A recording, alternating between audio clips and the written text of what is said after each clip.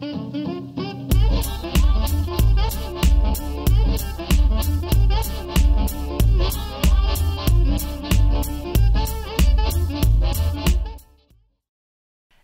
fellow creators and mom entrepreneurs, welcome to another Divi tip.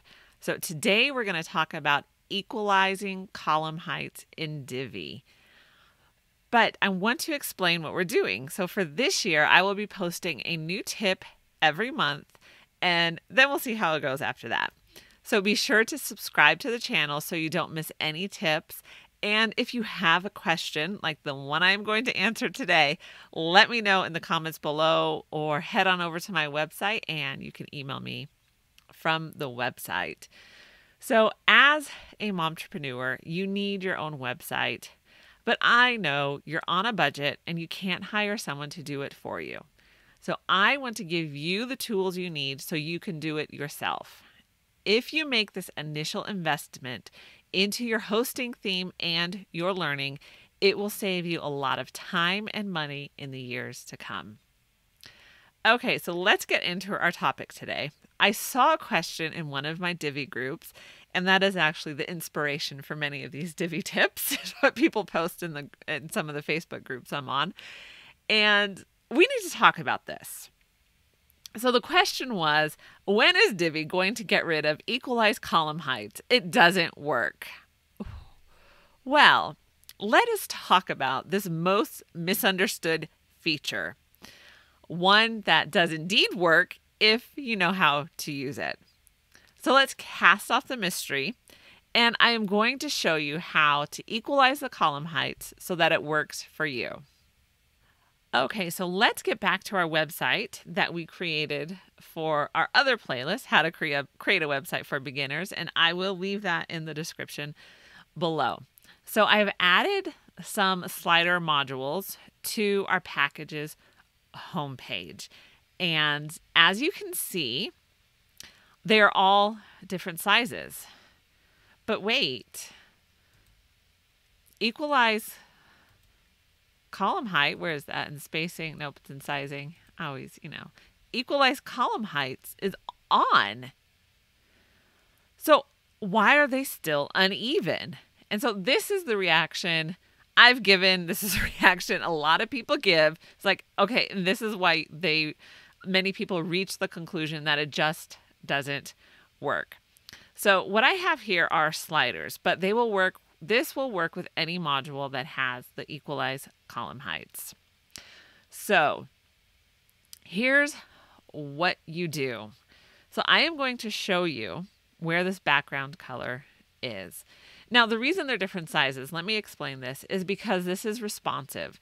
So the size of the the slider module is responding to the amount of text here. So as you can see, there's um, different amounts of text in each module. And so it is resp- the module, and that's the gray box, remember that. The module is responding to what's inside of it. So right now, we're just going to click on this module here. And if you go in, because it's a slider, so you can have more than one, but we just have one here. So here's where the color is. And I wanted you uh, I wanted you to see this, so keep that in mind. So that was the module. But now remember, it says equalize column height. It does not say equalize module height. And so that is where most people get it wrong. We'll just say it. we'll just say it. So that is where uh, it's misunderstood. So let's go into the column. Okay, we're going into the first column here, and we're going to go into background. And I am going to add our tan color so you can see it. So now you can see it is this the uh, column is the same height as the one next to it. So let's just do that for all of them. So we're going to add the same background color. Now you're not seeing it here because this is the um, this module is setting the height for the entire row because it has the most text in it. Okay, and so let's go to the third one. So you need, Whether you use a picture, a background color, and we're using a background ground color, or anything else you can put in the background. If you want to add a gradient, image, video, this is new. I haven't tried the background patterns yet. So see, you can see that's going behind even the modules. So we're going to just trash that pattern. And a background mask. Let's see, what do we have? So it's just a layer blob. Okay, because these are new features. I haven't looked at them. Anyway, we're getting sidetracked. So now, now that we've added the color to the right place, let's go delete the colors in the module. And remember, there's a lot of places to put background images and colors. So sometimes you just have to look for them because, like, you could put it here for the slider setting, but that's not where our background is. It's actually in the slider. So by putting it in the slider, if we had different sliders, we could give them each individual background colors. So that's why you would do that there. Okay. So you can see there's our tan color again. And let's get rid of this background. Piece of cake. So now, save our changes. Okay, now at least all of the columns are, are looking the same height. As you can see, there might be some more like centering with the buttons, but we're not doing that in this video. That is not what this video is about.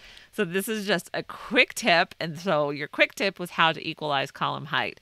So we did that and there's more that you can play with as far as margin and padding around the button and stuff to bring it down if you wanted the buttons all in a row.